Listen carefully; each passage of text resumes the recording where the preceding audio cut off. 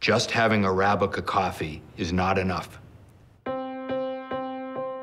bean matters. The bean matters because you cannot roast in quality. You cannot roast in complexity.